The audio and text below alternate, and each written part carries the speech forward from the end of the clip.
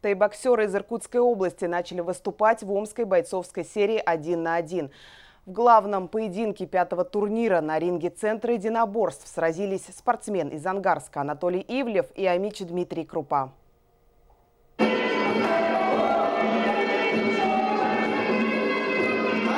Грозное оружие аркутян – удары локтями. Анатолий Ивлев сходу удивил разнообразием атак. Бэкфисты с разворота, удары сверху, секущие боковые. Наш боец Дмитрий Крупа не дрогнул и даже ответил сопернику в том же стиле, ударами локтями. В середине второго раунда Амич взорвался. Серия красивых атак, встречные выпады. В запале наш боец пропустил удар с разворота. Нокдаун. Продолжение, темповая схватка в третьем раунде по баллам раздельным решением с небольшим преимуществом победил боец из Ангарска.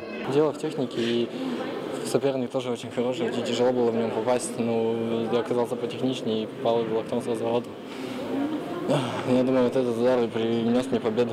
Яркое продолжение. Два нокаута в поединках наших бойцов. Реактивный Данил Кулагин буквально смял своего противника. Схватки по новой для турнира версии Кхмер Файт. По-российски это кикбоксинг с клинчем и ударами коленями. Омский боец блеснул фантастическим напором. Скоростные серии ударов руками, продолжение. Судья в ринге остановил поединок. Очень хотел поступить в этом турнире, готовился.